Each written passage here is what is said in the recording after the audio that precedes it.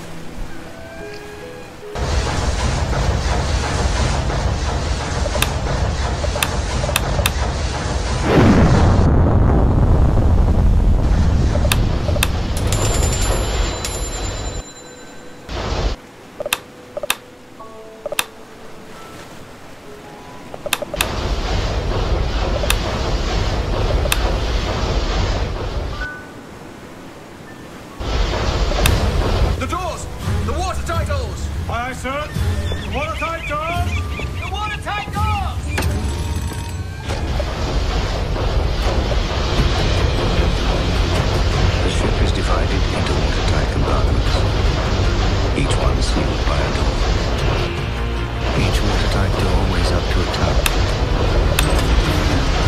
If they were simply allowed to drop, they would drop straight through the floor.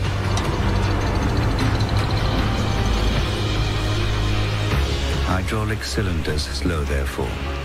They take a full 30 seconds to lock down.